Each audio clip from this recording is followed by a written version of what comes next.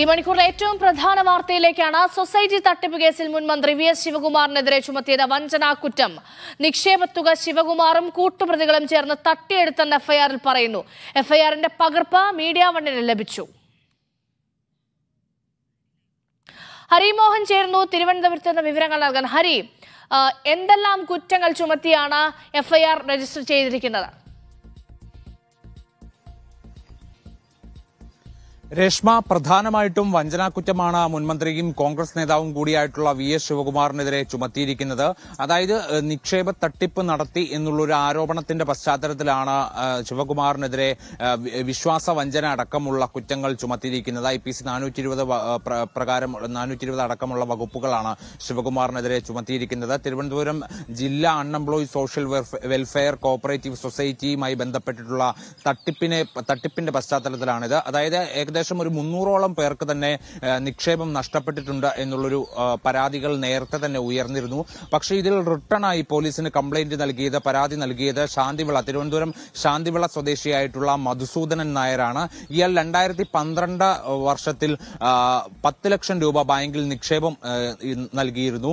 ഈ പത്ത് ലക്ഷം രൂപ ബാങ്കിൽ നിക്ഷേപം നൽകാനുള്ള പ്രധാന കാരണം ഇയാൾ പറയുന്നത് മുൻമന്ത്രി മുൻ മന്ത്രി കൂടിയായിട്ടുള്ള വി എസ് ശിവകുമാർ ഇയാളോട് ആവശ്യപ്പെട്ടതിന്റെ പശ്ചാത്തലത്തിലാണ്.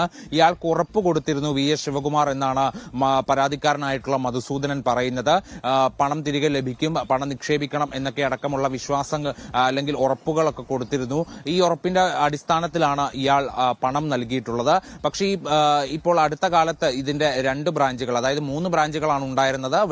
വെള്ളായണി കിള്ളിപ്പാലം നേമം ബ്രാഞ്ചുകളാണ് ഈ സൊസൈറ്റിക്ക് ഉണ്ടായിരുന്നത് ഇതിൽ കിള്ളിപ്പാലം നേമം ബ്രാഞ്ചുകൾ പൂട്ടിപ്പോയിരുന്നു. അടുത്ത കാലം വരെ വെള്ളായണി ബ്രാഞ്ചും പ്രവർത്തിച്ചിരുന്നു. പക്ഷെ പിന്നീട് ഇതും പൂട്ടിപ്പോവുകയായിരുന്നു.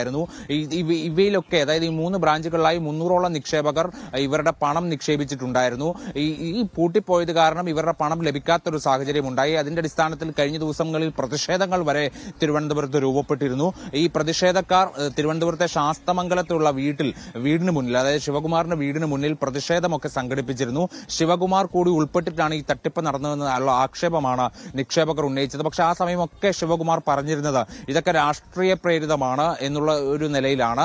മാത്രമല്ല ഈ പണം ഇവർക്ക് ലഭിക്കും എന്നുള്ളൊരു ഉറപ്പ് കൂടി അദ്ദേഹം കൊടുത്തിരുന്നു. പക്ഷെ ഇതിന്റെ ഒരു ഈ സമയത്ത് ഈ പരാതിക്കാരൻ അതായത് മധുസൂദൻ നായർ മുഖ്യമന്ത്രിക്കും സഹകരണ മന്ത്രിക്കും ഡി ജി പിക്കും അടക്കം പരാതി നൽകിയിരുന്നു. പക്ഷേ ഈ പരാതിയിൽ അന്വേഷണം അവർ നടത്തുന്നതിന്റെ അതായത് ഇത്തരത്തിലുള്ള ഒരു പരാതി ലഭിച്ചിട്ടുണ്ട്. ആ പരാതിയിൽ എന്തെങ്കിലും വസ്തുതയുണ്ടോ എന്നുള്ള കാര്യം ഇവർ പരിശോധിക്കുന്നതിനിടെയാണ് കരമന പോലീസ് ഇതുമായി ബന്ധപ്പെട്ട ഒരു കേസ് രജിസ്റ്റർ ചെയ്തിരിക്കുന്നത്. മൂന്ന് കേസുകളാണ് ഇതുമായി ബന്ധപ്പെട്ട് രജിസ്റ്റർ ചെയ്തിരിക്കുന്നത്. ഇതിൽ ഒരു കേസിലാണ് വി എസ് ശിവകുമാർ പ്രതിയായിരിക്കുന്നത്. കേസിലെ ഒന്നാം പ്രതി എന്ന് പറയുന്നത് സൊസൈറ്റി പ്രസിഡന്റ് ആയിട്ടുള്ള രാജേന്ദ്രൻ നായരാണ്. രാജേന്ദ്രൻ നായർ എന്ന് പറഞ്ഞു കഴിഞ്ഞാൽ ഒരു പ്രാദേശിക കോൺഗ്രസ് നേതാവാണ്. ഇയാൾ ശിവകുമാറിന്റെ ബിനാമിയാണ് എന്നുള്ള ഒരു ആരോപണം നിക്ഷേപകരായിട്ടുള്ള പലരും തന്നെ നേരത്തെ ഉയർത്തിയിരുന്നു. ശിവകുമാറിന്റെ നിർദ്ദേശത്തെ തുടർന്നാണ് ഇയാൾ എല്ലാ കാര്യങ്ങളും ചെയ്തുകൊണ്ടിരുന്നത്. ശിവകുമാറിന്റെ അടുത്ത അനുയായിയും ബിനാമിയും കൂടിയാണ് ഈ വ്യക്തി എന്നൊക്കെയുള്ള ആരോപണങ്ങൾ നേരത്തെ ഉയർന്നിരുന്നു. അതുകൂടാതെ സെക്രട്ടറി നീലകണ്ഠനാണ് കേസിലെ രണ്ടാം പ്രതി. മൂന്നാം പ്രതിയാണ് വി എസ് ശിവകുമാർ. നിലവിൽ മൂന്ന് പ്രതികളാണ് ഈ കേസിലുള്ളത്.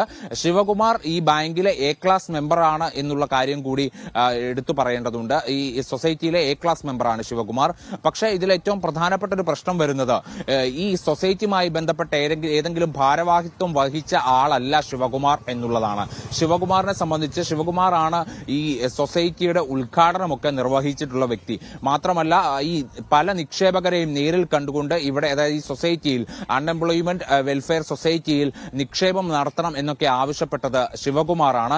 ഇത്തരത്തിൽ ഏകദേശം ഒരു പതിമൂന്ന് കോടിയോളം രൂപ നിക്ഷേപകർ പലരുടെ പല നിക്ഷേപകരുടെയും ഭാഗത്തു നിന്നായി ഇവിടെ വന്നിട്ടുണ്ട്. ഈ പണം എല്ലാം നഷ്ടപ്പെട്ടു പോയി എന്നുള്ള ഒരു ആരോപണമാണ് ഇപ്പോൾ ഉയർന്നു വരുന്നത്.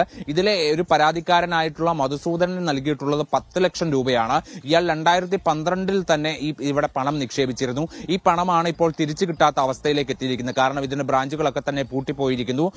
ഈ പണം തിരികെ ലഭിക്കാനുള്ള ഒരു സാധ്യതയുമില്ല എന്നുള്ളൊരു നിലയെത്തിയപ്പോഴാണ് ഇയാൾ മുഖ്യമന്ത്രിക്കും സഹകരണ മന്ത്രിക്കും ഡി ജി പിക്കുമൊക്കെ പരാതി നൽകിയത്.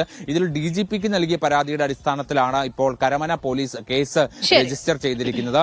ഇതുമായി ബന്ധപ്പെട്ട മൂന്ന് കേസുകളിൽ രണ്ടെണ്ണത്തിൽ രണ്ട് രണ്ട് ഒരു കേസിൽ ശിവകുമാർ പ്രതിയാവുമ്പോൾ മറ്റ് രണ്ട് കേസുകളിൽ രാജേന്ദ്രൻ നായരും നീലകണ്ഠനും ഒക്കെ പ്രതിയാണ്. കാരണം അവരാണ് സൊസൈറ്റി പ്രസിഡന്റ് സൊസൈറ്റി സെക്രട്ടറി എന്നുള്ള നിലയ്ക്ക്. എന്തായാലും ശിവകുമാറിന്റെ ഔദ്യോഗിക ഔദ്യോഗികമായ ഒരു പ്രതികരണം ഈ വിഷയത്തിൽ ലഭിക്കേണ്ടതുണ്ട്. രേഷ്മ.